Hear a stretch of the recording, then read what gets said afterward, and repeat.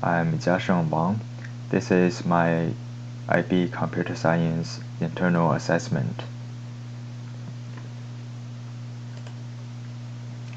This is a supermarket products sorting software.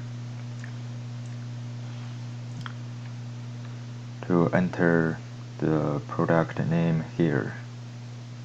So Apple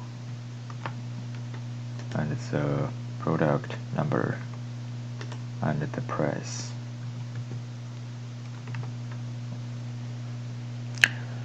And we can add this product. We can add another product.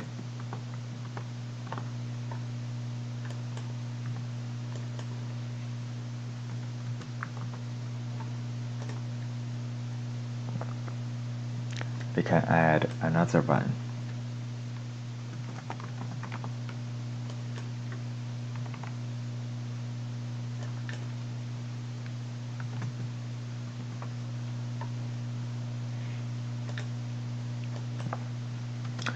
Now if we search by the product number,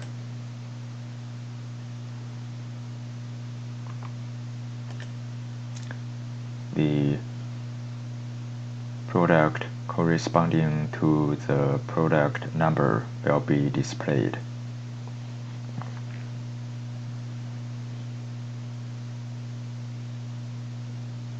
Now we can exit the